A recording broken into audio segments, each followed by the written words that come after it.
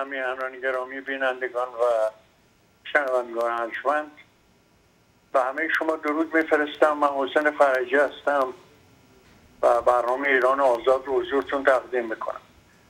متاسفانه با همه اقداماتی که ما به عمل آوردیم امکان تماس تصویری بین من و امیر شورتی کارگردان این برنامه وجود نداره.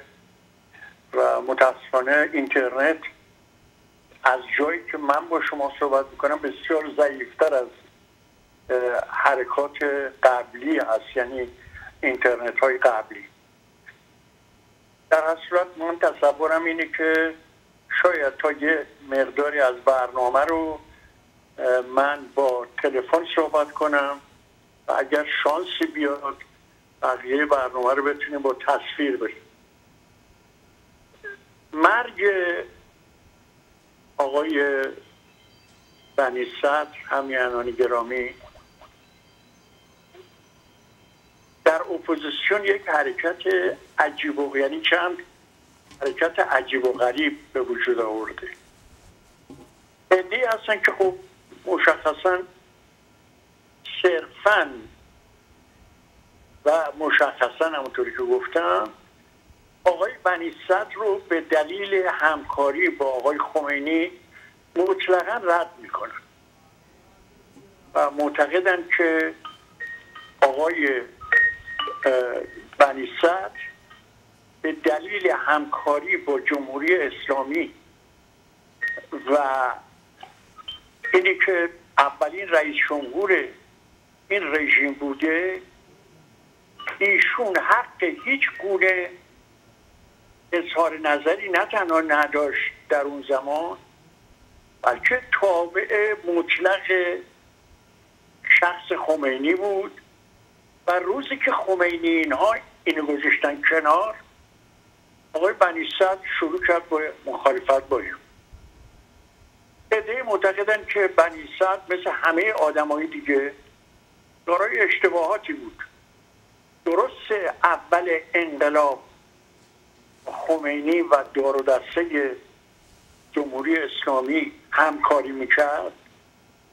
ولی هرگز اولا خمینی موافق نبود که بنی رئیس جمهور بشه بلکه تمایل داشت به حبیبی.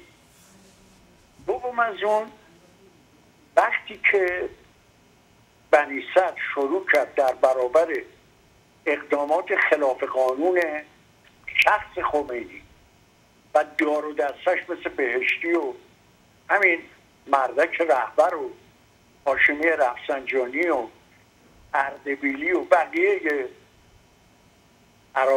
ارازل و اوباش. بلافاصله دیدیم که شروع کردن با او مخالفت کردن و شما اگه کتاب های هاشمی رفسنجانی رو مطالعه کنید می‌بینید که فصل بسیار مهم این کتاب اختصاص داره به شخص بنیسر و توته هایی که مولاها و آخوندا در قیاب بنیصد یعنی در پست ریاست جمهوری بنیصد قرار گرفته بود و فرماندهی کل قوا. و این طرف این عرازل و باش هاشمی و نمی‌دونم اردبیلی و همطور که گفتم احمد خمینی و اینا و اونقدر اینا بیخ گوش خمینی وزوز کردن که این یه خطر بالقوه برای اسلام و نمی‌دونم جمهوری اسلامیه و با مخالفت هایی که بنی انجام می‌داد از جمله تظاهرات 19 فروردین و به اون تظاهرات عظیمی که منجر به این شد یه عده به مصدق فهاشی می‌کردن و یه عده در برابر اینا ایستادگی می‌کردن. بنی همون در همون تظاهرات دستور داد. این کسانی که به عنوان اخلال اومدن همه اینا رو دستگیر کنن. و مردم اینا رو دستگیر کردن و معلوم شد. یه توطعه در حال تکمیل بوده که این توطعه رو اون روز مردم و بنی صد خونسا کرد. حالا اصلا بعضی هستن این خدماتی که آقای بنی بعد از خروج از ایران انجام داد از جمله مخالفت های دائمی او با جمهوری اسلامی و افشا کردن اسرار بسیاری از جمهوری اسلامی. و دادگاهی میکنوس به عقیده من عمده ترین کاری که بنی صد انجام داد در دادگاه میکنوس بود. یعنی با آوردن دو تا شاهد به دادگاه میکنوس کرد که جمهوری اسلامی خل اصلاح شد. یعنی تا اون موقع جمهوری اسلامی ممکنه این جریان ترور رهبران حزب دموکرات بود و چند نفر از افراد اپوزیسیون. ولی بنی صدر با دو تا شاهد شاهد سی سه یا یا یه شاهد دیگه که الان راجع بهش صحبت می‌کنیم. آمد و دست جمهوری اسلامی رو رو کرد. و معلوم شد که علاوه بر رهبران حزب دموکرات و مخالفین تمام قتلهایی که در خارج صورت گرفته همشون به وسیله عالی ترین مراجع یعنی شخص خمینی شخص علی خامنه ای فلاحیان هاشمی رفسنجانی و ولایتی بوده. یعنی دادگاه قبول کرد که این شاهدین شاهداری که آقای بنی به دادگاه معرفی کرده و اظهارات که اینا کردن با حقیقت وفق میده و درسته. حالا الان همونطور که گفتم خدمتتون فوت بنی صدر بحثای زیادی رو به وجود آورد. و من امشب امروز دعوت کردم از یک از میلیون ایران که افتخار آشنایی با ایشون رو از مدت های بسیار دور دارم چون ایشون از فعالین نهزت ملی هستن هم خودشون و هم برادرشون دکتر قائم مقام. و از آقای کامبیز قائم مقام خواهش کردم. در برنامه امروز من به عنوان یکی از افراد فعال جبهه ملی و صف میلیون ایران شرکت بکنن و راجع به بنی شخص بنی اشتباهاتی که انجام داده بود کارهای مفیدی که انجام داده بود و نقش فعالی که در اپوزیسیون داشت صحبت بکنیم. آقای قایم مقام درود بر شما. آقا سلام به شما و بینندگان تلویزیون شما و برنامه های شما. خیلی خوشحالم. سپاسگزار از شما آقای قایم مقام.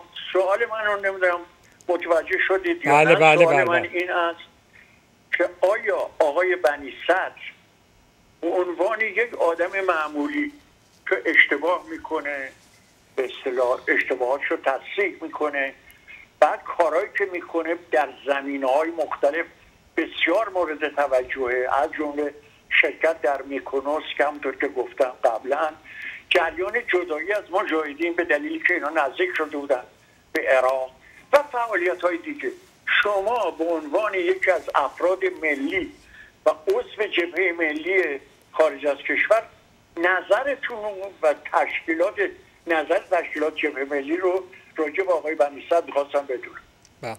خیلی متشکر و یه نکته بسیار بسیار مهم در رابطه با تحلیل وجود داره و باعث تاسفه که به جای اینکه یک مجموعه رو مورد بحث قرار بگم داخل داستان میشن و نکاتی رو در میارن و شروع می‌کنن اون رو بزرگ کردن و اون رو مجموعه کار نشون دادن. امروز این کار داره در رابطه با آقای بنی صدر انجام میشه. من نمیگم با همه کارهای آقای بنی صدر موافق بودم. اول کارم در دسته آقای بنی صدرم نبودم. با وجودی که قبل از اون ایشون در جبهه ملی بودن با همه جبهه ملی بودیم من خیلی جوانتر بودم ولی با تمام تفاصیل. ولی نکته مهمی که هسته شما از یک جریانی که داره اتفاق میفته از یک انقلابی که داره اتفاق میفته یک جریانی که میلیون ها نفر رو داخل خودش کشیده جریانی که همه انتظارش رو دارن در یه همچین جریانی شما بعد از اینکه مدت ها نمی‌ذارن در درون کشور کسی فعالیت سیاسی بکنه نمی‌دونم احزاب سیاسی فعالیت بکنن نیروهایی بتونن متشکل بشن یک باره شما داخل این ماجرا میشین.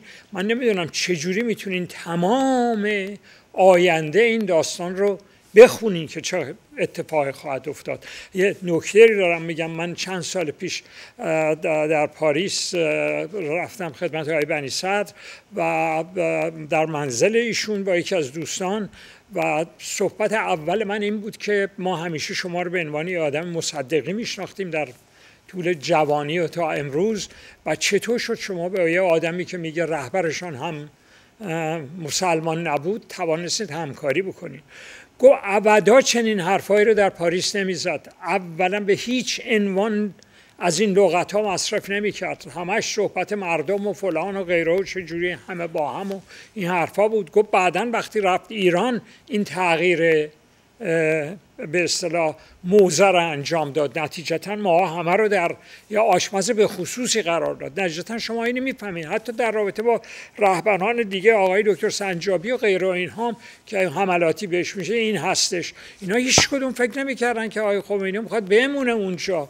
همش هم صحبت اینو می‌کرد که من میرم در قوم اونجا. و حتی بحث اینو می‌کرد هیچ روحانی حق رئیس جمهور شدن رو نداره. از این بحث ها داشتن انجام یک همچین تص تصویری از خمینی داشتن. ولی در طول جریانات یک باره متوجه این شدن که آقا این آدم یه آدم دیگه است و خوده بوده تمام کارهایی که قبلا انجام می‌داد. یک نکته دیگه میگم آقای بنی صد می‌گفتن که روزی که این افسران گرفته بودن در همون منزلی که آقای خمینی بود بیجا نگه داشته بودن همون جنرال های ایرانی رو. گفت من آمدم با ایشون صحبت کردم که ببینید ما اسلام در صورت مصلح اسلام نمی‌دونم دموکراتیکه و اینها زن و بچه دارن غیره دارن و بعد اینا از سرنوشتشون اطلاع داشته باشن بدونن که آقا در جمهوری اسلامی ما کارهایی که قبلا می‌شد دادگاهایی که قبلا بود انجام نخواهیم داد. اینجا کاملا دادگاه ها درسته. اینها حق صحبت دارن حق دفاع دارن حق فلان دارن و کاملا فرق داره. و اینو به اینا بگید آقا زن و بچه اینا چیزن و اینا بدون آخه نمی‌تونن در این حال این پایین باشن.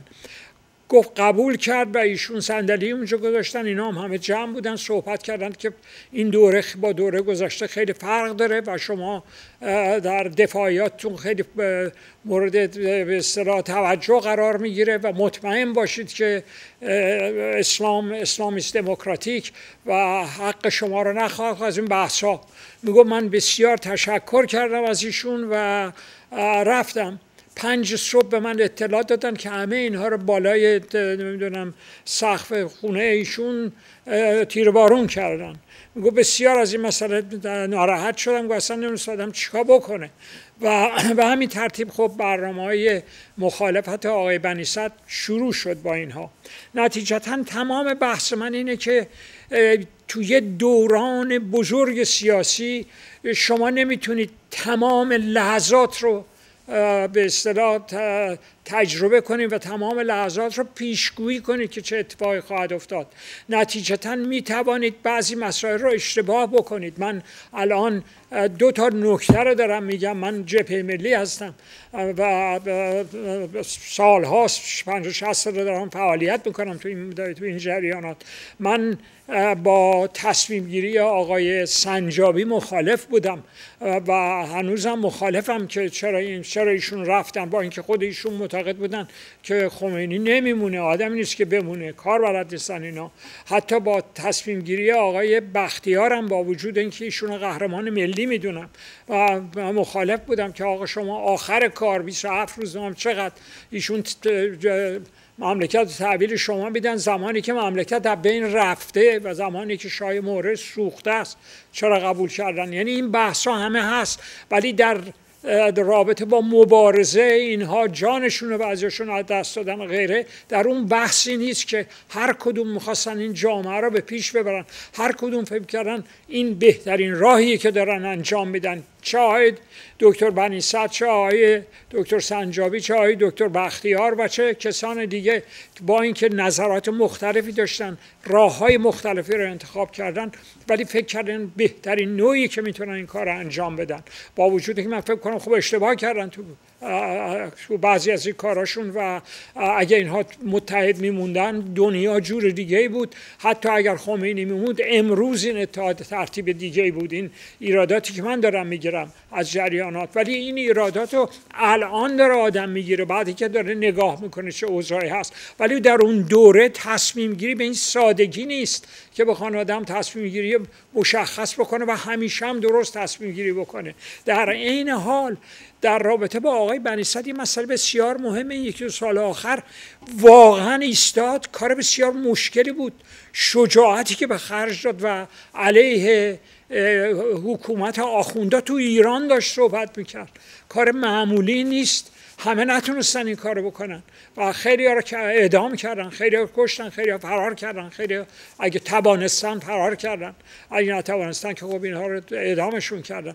ولی اینها ایشون واستاد تو ماجرا. نه اینکه بیاد بیرون واسه قبل از آمدن این کار رو انجام داد. نتیجتا نمیشه اینا رو فراموش کرد. اگه اینها رو فراموش کرد آدم بگه این نیست و آقا خائن فلان بعضی از صحبت هایی که می‌بینم تو فیسبوک نوشته میشه باعث بسیار تاسفه که آقا یک بخشی از زندگی رو شما فراموش می‌کنید. یک مجموعه ای رو به خاطر به جای اینکه یک مجموعه نگاه کردن به یه نکاتی که نگاه آدم می‌کنه که تو هر زندگی هر کسی این نکات هست. بالا و پایینش هست. واتسیبی داره که چه شغلی داشته. تازه بعد از اینکه ایشون آمدن بیرون دنیای دیگری بود.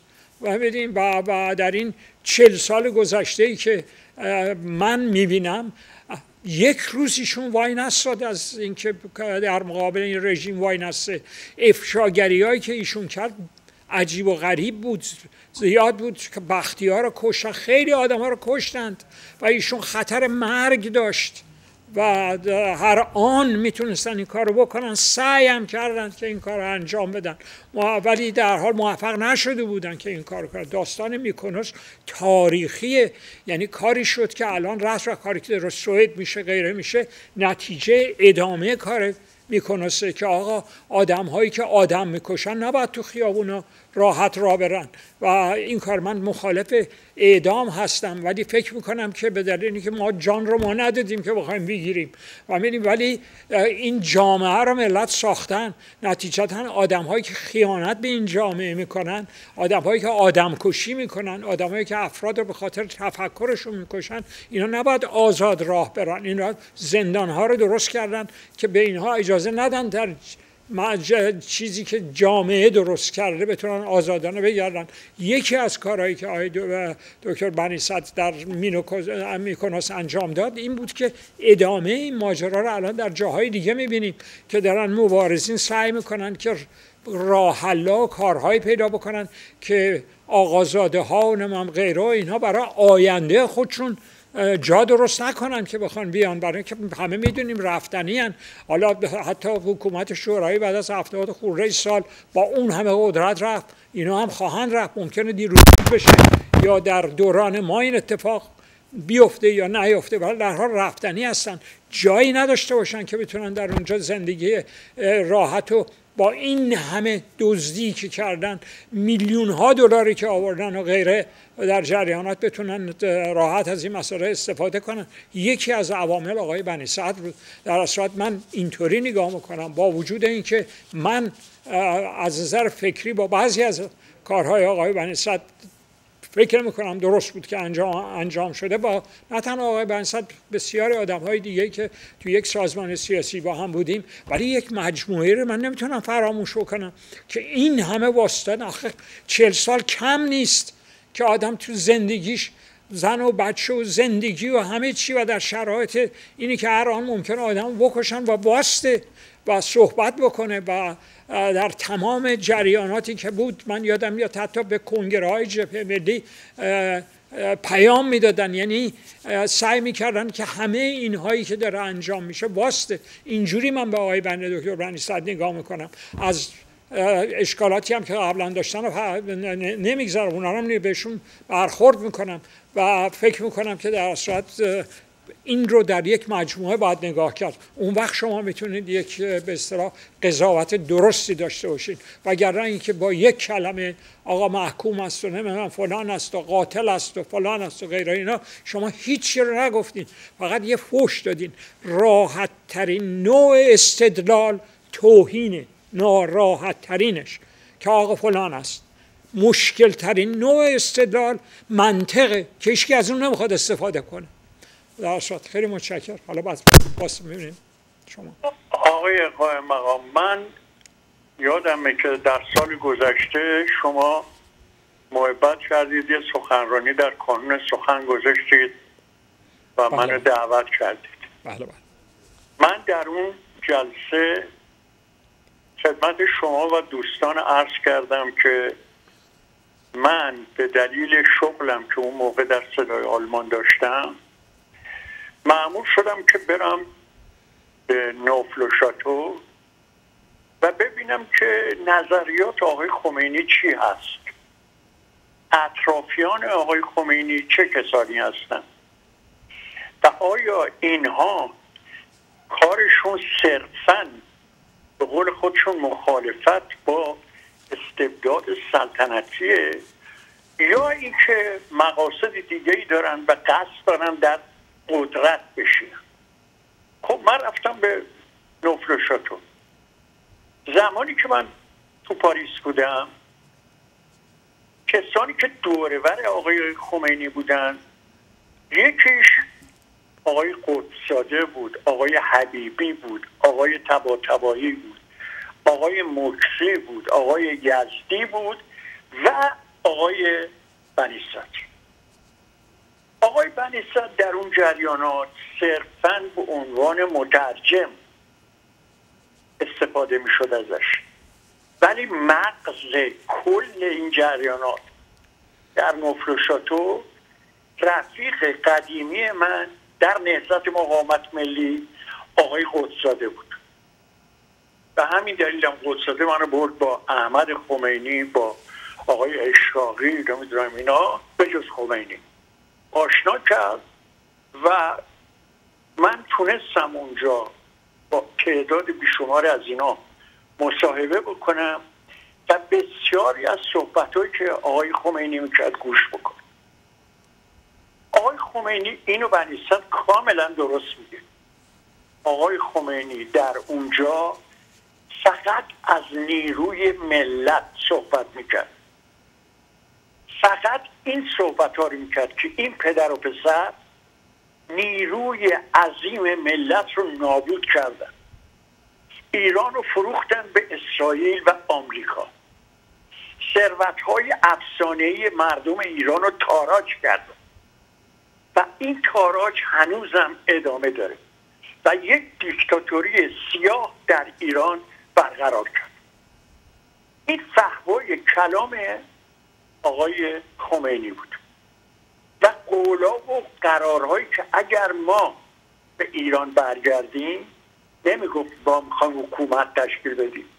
می‌گفت در اسلام چون این قیام یک قیام اسلامیه ایشون از میفرمودن. چون یک قیام اسلامیه بنابراین تمام کارهایی که در حکومت اسلامی بعدا انجام خواهد شد رفتار دموکراتیک و آزادی برای همه مردم ایران احزاب روزنامه ها و غیره خواهد چون مسئله اسلام و آزادی مسئله یه سال و دو سال و کار 1400 ساله. و اسلام شناخته شده است. در مورد زنان در مورد اعضاب گفتم راجع به همه آقای خمینی موقع که برگشت تو ایران خب کاملا حرفای دیگه زد و این آقای بنیسال راست ولی در اونجا که من بودم اینو من چندین بار گفتم. مثلا قدساده وقتی صحبت می‌کرد یا خود خمینی صحبت می‌کرد من می‌دیدم یه عده میان آدمی که سوال کرده رو می‌زنن پشت سرش صداش می‌کنن بیرون و میبرنش کتکش می‌زنن از توی نوپرشاتو میندازنش از اون محوطه بیرون. که من به قدساده گفتم چرا این کار می‌کنن اینا؟ گفت اینا عوامل ساواکن که میان اینجا اخلال بکنن. برای این بچه های ما موظت می‌کنن. ولی من هرگز این رفتار رو در شخص بنی ندیدم. در دیگران همه رو دیدم. یعنی آقای یزدی رو دیدم خودساده رو دیدم به خصوص تبا تبایی دیدم مکری رو دیدم حبیبی رو دیدم. ولی هرگز وجدانن شرافتا از آقای بنی ندیدم الان مثل که اون باید بریم چند تا آگهی ببینیم. برمیگردیم و من آقای قائم مقام ببخشید خیلی صحبت کردم. بسیار جالب بود اتفاق دو طرف است. من دلم می‌خواد هم شما راجع به ایشون صحبت کنید هم یه مقداری من. اجازه بدید که الان بریم آگهی ها رو ببینیم برگردیم و به بحثمون ادامه بدیم.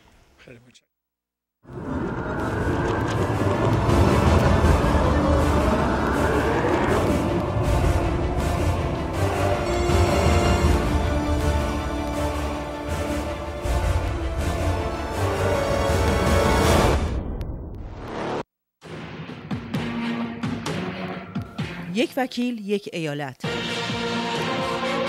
دکتر مونا دلدار برگزیده انجمن ملی وکلای حقوقی آمریکا به عنوان صد وکیل برتر منتخب انجمن وکلای استثنایی به عنوان وکیل عالی. انتخاب شده انجمن متخصصین به عنوان بهترین وکیل. و سرانجام برگزیده کانون وکلای تصادفات کالیفرنیا به عنوان ده وکیل برتر این ایالت. شما هم برای گرفتن حق قانونی خود دکتر مونا دلدار از بهترین وکلای تصادفات کالیفرنیا را که در تمام پرونده ها پیروز بوده در کنار خود داشته باشید.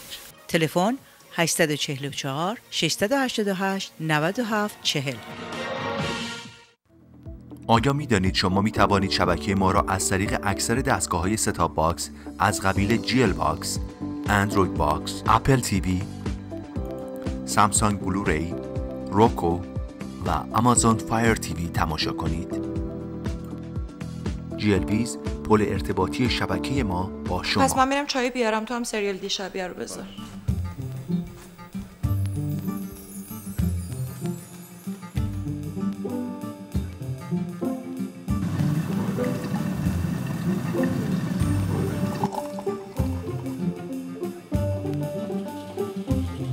نذاشتی؟ پیداش نمی‌کنم. کجا داری دنبالش میگردی؟ اینا تو کل سریال ها نه من گذاشتم تو قسمت منتخب. کجا؟ ایناش قسمت منتخب. و این چجوری رفته اونجا؟ تو هر برنامه که دوست داری کنارش روی منو کلیک می‌کنی. بعد می‌زنی روی favorite بعد اینا ذخیره میشه توی قسمت منتخب. خوب جیل ویزی شدی یا شیطون؟ مرسی از بابت چایی.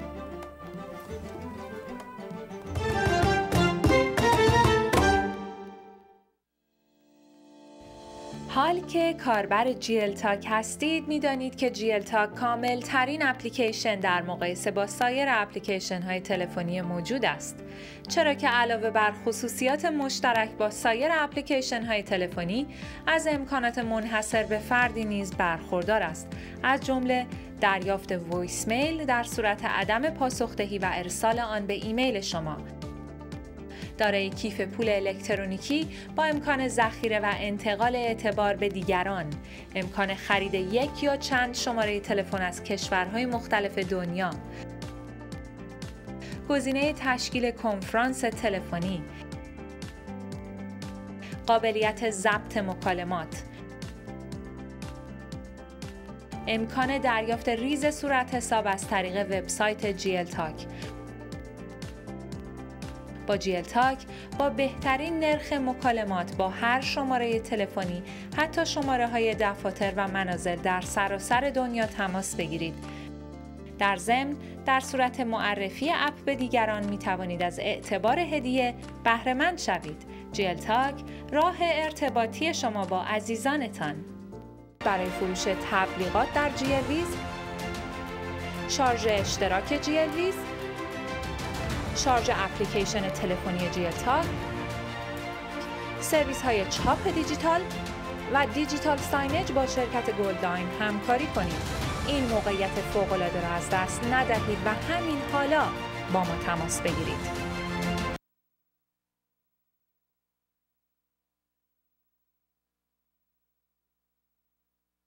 خب، همین گرامی بینندگان و شنوندگان ارجمند. آگهی های وسط برنامه ما رو طبق معمول دیدید. من می‌خوام مجموعه صحبت رو کردم یه نتیجه گیری بگیرم دوباره یه سوال دیگری رو با آقای قائم مقام مطرح بکنم.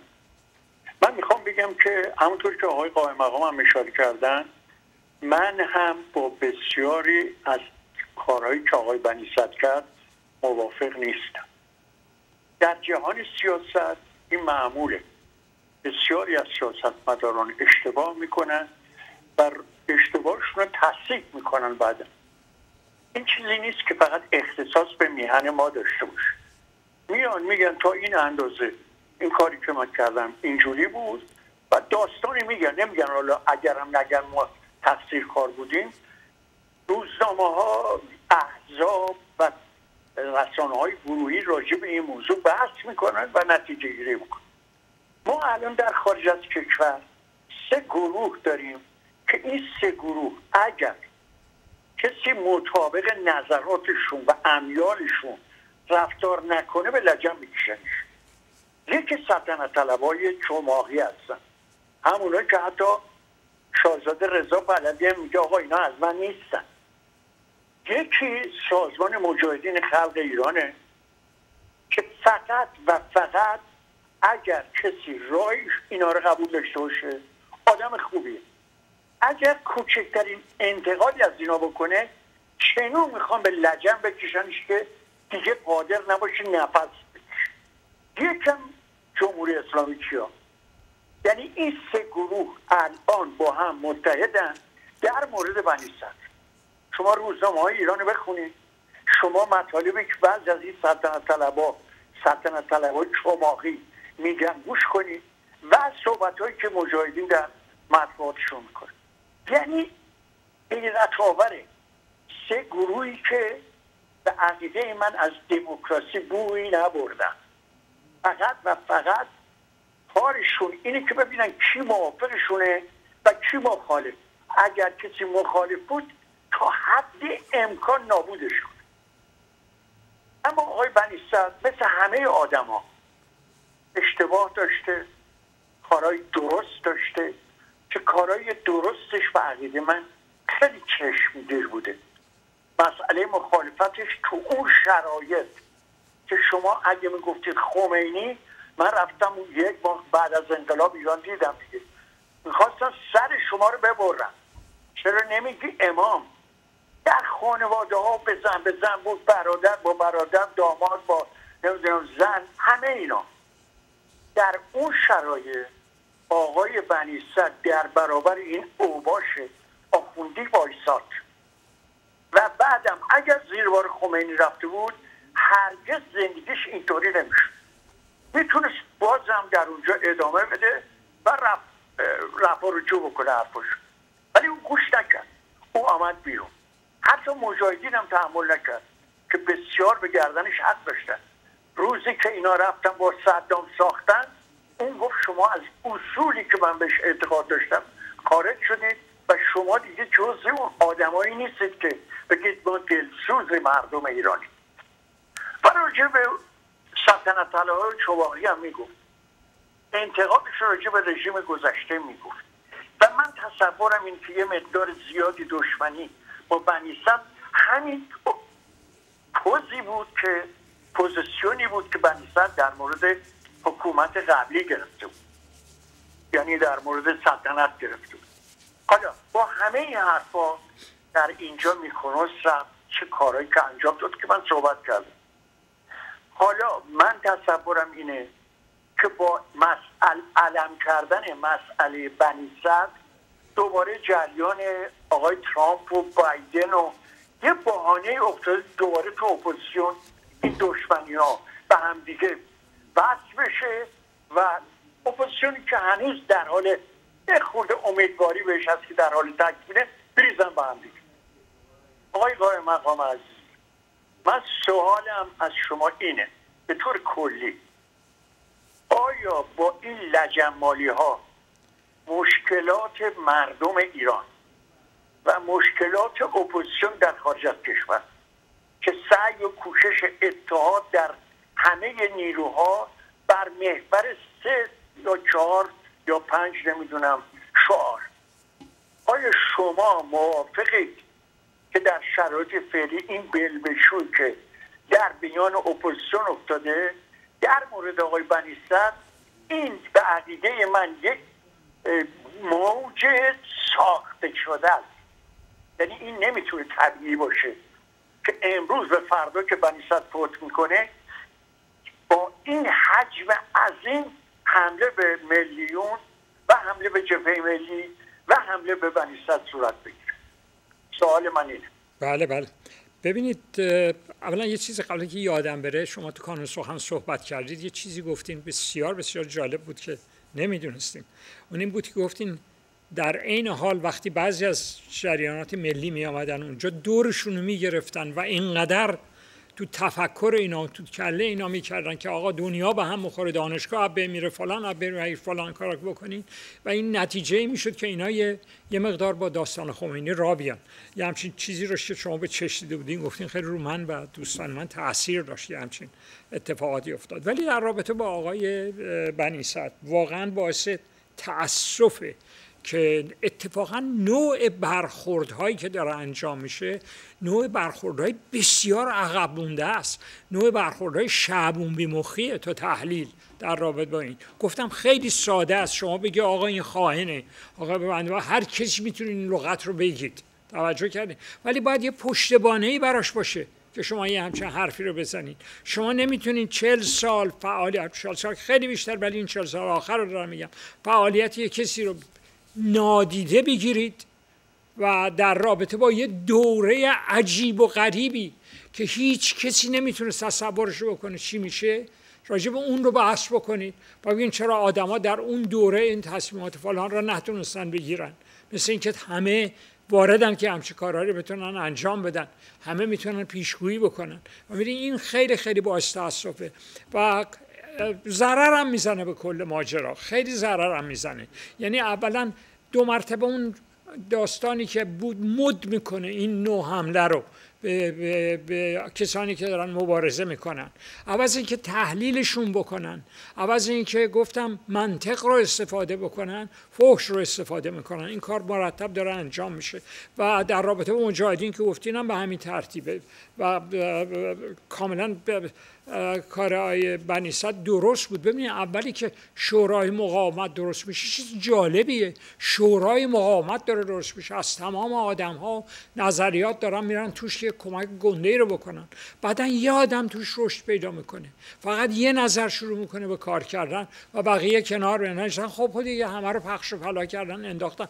فقط شورای مقاومت شد. خود مجاهدین به جای اینکه اون همه آدم های مختلفی که اول توش شروع کردن به فعالیت کردن. یه همچین حالتی نجدن خب تصمیم آقای بنیسته درستیه که با اینا با وجود اینکه خب کمک کردن ایشون بیاد بیرون یا هر ترتیبی که صحبت هایی که هستش با تمام تفاصیل سکارشون درست بوده تو جریانات. این رو باید در نظر بگیریم. این تحلیل ها رو باید انجام بدیم راجبه یعنی راجبه گذشته هر کسی ما می‌تونیم صحبت بکنیم می‌تونیم انتقاد بکنیم می‌تونیم بحث کنیم. بعضی از صحبت هایی که آقای بنی کرده من کاملا باش مخالفم. خیلی دوست داشتم که یه دفعه دیگه آدم ایشون می‌دید اونا رو بحث می‌کردن به چه ترتیبه در رابطه با مسئله دانشگاه در رابطه با مسئله کردها و کردستان بحث های مختلفی هست در رابطه تصمیم گیری های بنی تو این ماجرا. من به اصطلاح ورژن های مختلفش شنیدم. خیلی مشکلی که بگم این درست اینو گفتن یا اونو گفتن. ولی با تمام تواصل با یه ورژنی که صحبت بشه آقا حمله به دانشگاه من مخالفم با وجودی که الان بحثی که هم شهر رو نزده ایشون. این کار نکرده. ولی این تحلیل رو میشه کرد. ولی شما نمی‌تونید همه رو بذارید. این همه چهل سال شبانه روز توی جریانات سیاسی باشن و این رو در نظر نگیرید و بگین آقا چی اصلا از اول فلان بود غیره بود. بعد اون مبارزه که تو ایران انجام شد بی سابقه است و اون ایستادگی که ایشون کردن که هر روز صحبت جانشون بود و این آخر کار که این مثل اینکه یه سال بود نمی‌دونم چقدر یادم نیست. ولی سخنرانیشون ما اینجا مرتب میشیدیم که چرا محکم واسطه بودن. یعنی احتمال مرگ اصلا من نمی‌دونم چه تا اون وقت نکشیدن شاید درسیده بودن که تاثیرات بدی بذاره ولی اون وقتی شروع کردن خب ایشون آمد بیرون. اینا رو نمیشه فراموش کرد راجع به جریانات. بحث میشه کرد میشه تمام گذشته های آدم ها رو بحث کرد کارهای خوبشون رو صحبت کرد. من گفتم آقای دکتر بختیار جزء قهرمانان ملت ماست. جونشون رو گذاشت تو این جریانات. ولی مخالفم با رفتن آخرشون با, با شاه. به دلیل که ایشون یک سال پیش اینو نوشتن که آقا دو دوستان داره خرابه کمک کنید یه کاری بکنید برای این ماجرا. بحث بحثی کرد که آقا اینا روشون زیاده. و و چی اون آخر کار که داره پرواز می‌خوان می‌کنن برن ایشون گشتن اونجا و میگن آقا شما این مملکتی که به این رفته از دست رفته بنده هم دارم میرم. ارتش هم تکلیفش روشن این طوفانیان. چی گفته بود که اول به همه رو می‌کنه اعلی حضرت میگه آقا شما بعد از من به آقای بختیار شما توجه کنه حرفایشون. ولی وقتی بختیار میره رو می‌کنه و میگه که آقای فردوس شما مسئول جریانات هستین. تو این جریان یعنی اینو طوفانیان تو خاطراتش داره ارتش بود جمع مسائلی که داره میگه و غیره اینا. یه همچین شرایطی بود. من مخالفم. با رفتن آقای بختیار ولی ابدا مبارزات آقای بختیار قبل و بعدش میشه فراموش کرد؟ جانشو گذاشت. شب و روز قبل از ماجرا تو زندان بود. و این اونها قهرمانان ملی ولی اینجا و اونجا تصمیم گیری هاشون هم فکر می‌کردن این تصمیم گیری ها به نفع مردمه برای آزادی. یکی اینجوری فکر می‌کرد یکی هم اونجوری فکر کرد که مثل سنجابی و غیره که شما برین با خمینی و غیره الان اینا میرن ما بعد کنار. یعنی تحلیل اینجوری بود. خب تحلیل اشتباه بود ولی با تمام تواسط همه که نمی‌تونن غیبگو باشن راجع به مسائل. ولی شما گذشته و مبارزات اینا رو که نمی‌تونه فراموش کنید اگه این کار رو انجام بدین کسی جرأت مبارزه نداره. اگه بخواد به حرف شما گوش بکنه. از اینکه ممکن است یه روزی اشتباه بکنه و بعدا اون اشتباهی که کرد اینطور کار. اصلا وحشتناک تحلیل هایی که داره میشه. تحلیل فحشه هیچی دیگه نیست. ای خائن ای فلان ای هیچ هیچ تو با خمینی فلان. هیچ بحثی نمی‌کنه. آقا در دوران خمینی این چه حرفایی زده؟ چه چیزهایی گفته؟ اصلا صحبت اینا نیست. می‌دونن همین چیزها هست. ولی دنبالش نمیرن که این کارها رو بکنن برای اینکه بتونن هر چه زودتر طرف محکوم بکنن. این خیلی وحشتناکه. این بیشتر تو جوامع عقب مونده اینطوری میگه. تو جوامع پیش رفتم 200 سال پیش اتفاقی افتاد. ولی واقعا چیز وحشتناکه. بخشید مرسی. من شما می‌دونید که پرویز دستمالچی یه دوستی بسیار قدیمی دارم کارهای بسیار زیادی رو در اروپا ما انجام می‌دادیم که دوستانی مثل پرویز دستمالچی هم بودن بله، بله. پرویز هم در کتاب خاطراتش و هم در گفتگوهاش به این مسئله اشاره می‌کنه که در دادگاه میکونوس ما اینا کوشش بسیار کردن به خصوص پرویز. اون پرویز در توی میکونوس بود. یعنی اگه اون طرفایی که تیر خلاص می‌زدن به پرویز توجه می‌کردن پرویز هم کشته بوده. بله.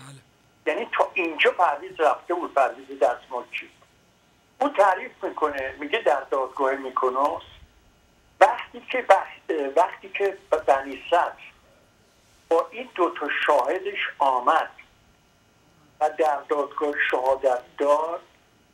این دوتا شهادت دادن اصلا به طور کلی فضای دادگاه عوض شد. برای اینکه این وکلای آقای دارابی و اون عرازل اوباش می‌گفتن که اصلا کار ما نبوده. و این نمی‌دونم آقای سی و نمی‌دونم این شاهدایی که آوردن اصلا اینا کاری نبودن که به عنوان کسانی بعد آقای بنیست یک فیلمی را آورده در دادگاه پخش کرده. اینه دیگه پرویز دستمان چی نمیگه؟ اینا رو تمام چیزهایی که بچه های جمع ولی کرده در این فیلم نشون میده که این دوتا شاهد در بسیاری از مذاکرات جهانی کنار آقای هاشمی رفسنجانی و کنار یکی از این رؤسای جمهوری قبلی خود کامنه ای نشسته بودن و جزء هیئت بودن. وقتی که اینا رو تو دادگاه مطرح کردن اون وکلایی که اومده دفاع بکنن از دارابی و اون حزب های ابله همشون خفه شده چون جوابی نداشتن بدن.